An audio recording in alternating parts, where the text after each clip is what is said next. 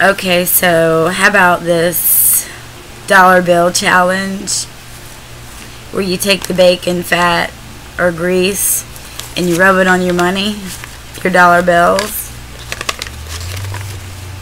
Well, guess what? I cooked some bacon this morning. And there's some of the grease in that cup.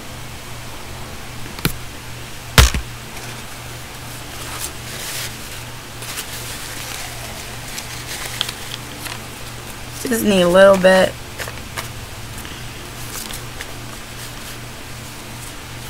Just a little bit. Rub that shit in there. And fuck you, Muslims. You think you can come into our country and demand crazy shit? well, we're armed in America. So come on, come get some if you think you can handle it.